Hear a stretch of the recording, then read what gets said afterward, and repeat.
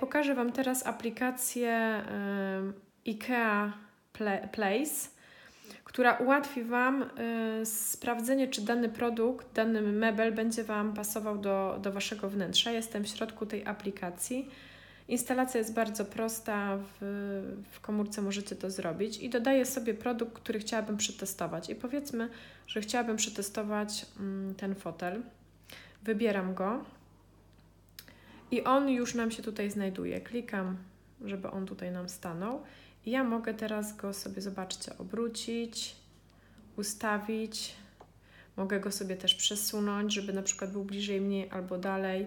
I wtedy mogę zobaczyć, czy ten fotel będzie mi tutaj pasował. Teraz podam Wam inny przykład. Wstawimy sobie jakiś inny fotel. Ten, który jest najbardziej chyba teraz popularny na rynku.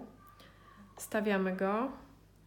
Oczywiście możecie sobie wybrać różne kolory jego i sobie go troszeczkę przesuniemy lekko do przodu i patrzymy, czy ten fotel nam będzie pasował. E, ta aplikacja ma jeszcze jedną bardzo fajną funkcję, że możemy wyszukiwać e, w rzeczywistości tej, którą mamy, produktów i IKEA nam znajdzie, czy znaczy aplikacja nam znajdzie podobne w sklepie IKEA. Czyli zobaczcie, tutaj mamy na przykład krzesło. Ja sobie klikam znajdź obiekt, jakbym chciała ten obiekt.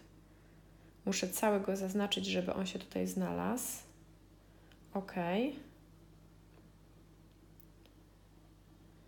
I wyszukujemy. I zobaczcie, IKEA znalazła mi podobny czarny, który u nich występuje. Teraz nie wszystko może się tak szybko wczytało, ale tu mamy krzesło, o, było takie, ale mieliśmy jeszcze takie. Czyli jeżeli bym chciała coś podobnego, to mogę sobie to krzesło ustawić.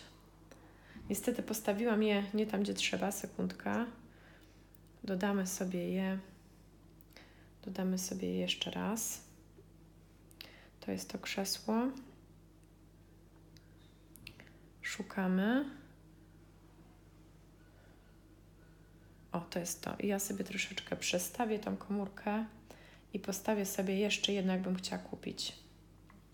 O, zobaczcie ustawiam, ono troszeczkę, musimy go troszeczkę przesunąć. O, zobaczcie, mam krzesło, które jest prawdziwe i mam krzesło e, w rzeczywistości rozszerzonej. Rzeczywistość rozszerzona bardzo mocno nam ułatwia, dlatego że możemy, jest to połączenie tak naprawdę rzeczywistości tej, którą mamy.